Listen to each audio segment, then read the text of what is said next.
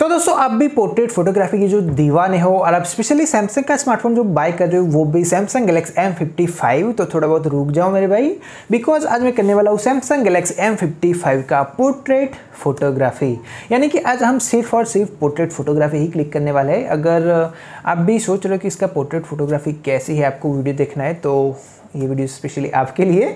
तो please video को बिना स्किप के एंड तक देखे रहे और आप हमारे चैनल पर नए तो प्लीज़ चैनल को भी सब्सक्राइब कीजिएगा ताकि ऐसे ही वीडियो में आप तक पहुंचाते रहे। हेलो वेलकम दोस्तों, मैं हूँ किशोर, आप देख रहा हूँ राधा भाई तो चलिए देखते हैं।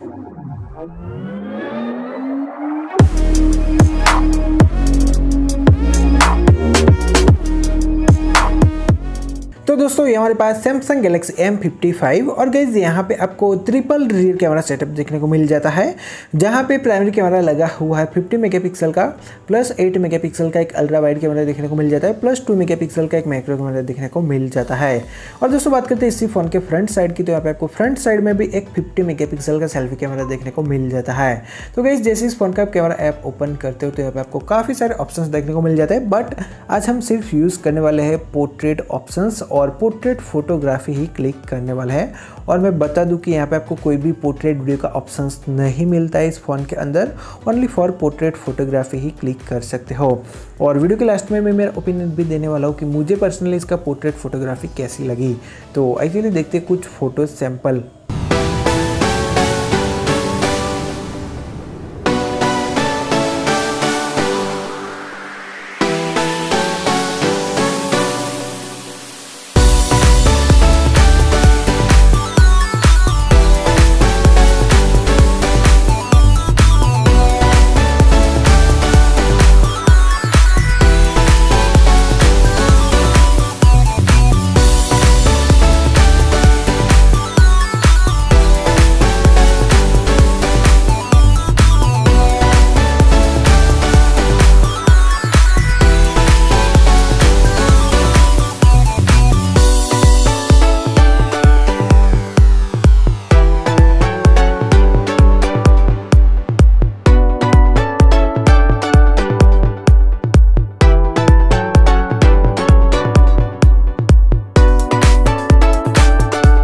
दोस्तों, अभी जो आपने फ़ोटो सैंपल देखो, मैंने इसी Samsung Galaxy M fifty five के फ्रंट और रियर कैमरे को यूज़ करते हुए क्लिक किए थे।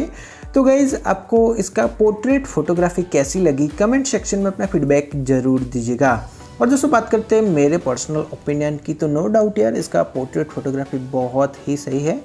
अगर आप इस स्मार्टफ़ोन को जो स्पेशली फोटोरेट फोटोग्राफी के लिए ही बाय करना चाहते हो तो कर सकते हो। ऐसा कोई दिक्कत नहीं आएगी।